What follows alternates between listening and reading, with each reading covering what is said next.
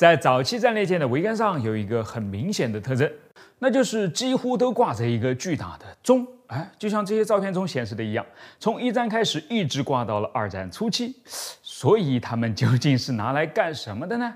我是百科全书火箭叔，今天呢，我们就来了解一下这个有趣的装置。电影里面我们经常都可以看到这样一个场景啊，不管是执行任务的特工，还是潜入到银行里面的大盗，在行动之前呢，总是要对一下表。哎，所以联想到同样是执行战争任务的战列舰，他们装表的目的也是为了在开战前把时间对准吗？哎，但是如果你推进仔细看的话，这个表盘好像哪儿有点不对劲呢？虽然时针和分针都在，但是刻度却只有十个，一圈少了两个小时，一天就少了四个小时，这时间也不带这么偷的嘛？难不成他们都自信到十个小时以内就能打完一场仗吗？当然不是，虽然它也叫钟，但却不是时钟，而是距离钟，是用来指示距离的，指出敌人的距离给自己的队友们看。像时针的那根指针呢，指出的是目标在多少千码开外，而分针指示的则是百码。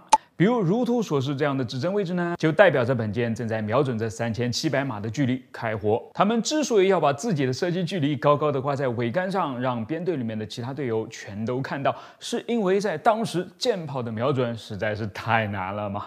尽管有了光学测距仪，哎，这个我们之前讲过啊，但是能不能真的打到敌人头上，很多时候呢还是要靠运气的。万一编队中正好有一艘打准了，哎，他不得大声的把自己的瞄准数据分享出来吗？距离是多少？方位是多少？所以你看啊，不仅在桅杆上方有着大大的距离中，连炮塔的下方呢，也是用油漆涂黑了，画上高对比的刻度的，让同伴能够看到我的炮管指向的是哪个具体的方位。于是大家就可以整齐划一的倾泻弹药了。哎，为什么不用无线电呢？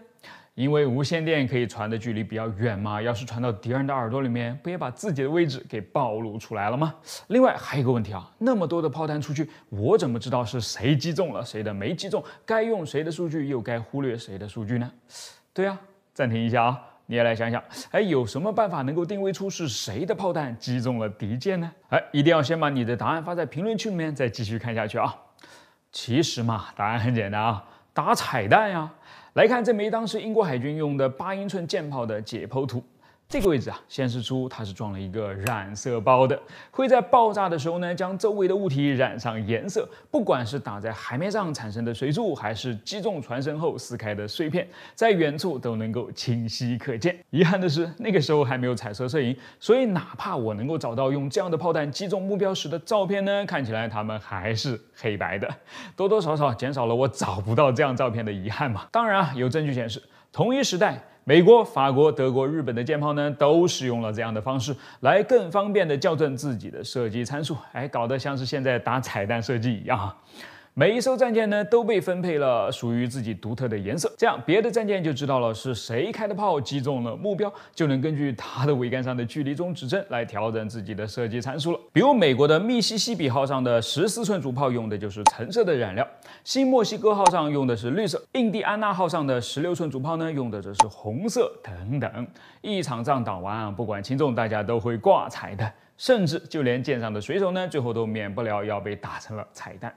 当然，不管是距离中还是炮塔上的刻度，到了二战早期就基本上都见不到了啊。主要原因有这么几个：第一是由于一战后所签订的海军限制条约，使各个国家到了现在呢都拿不出像当初那种规模的舰队排在一起吐子弹了。日德兰海战中那种几十上百艘战舰对垒的场景，现在已经被缩减为不超过个位数了。这种你看我我看你的需求呢，自然就减少了。另外啊，雷达出现了，用它就可以非常精确地指示出目标的位置啊。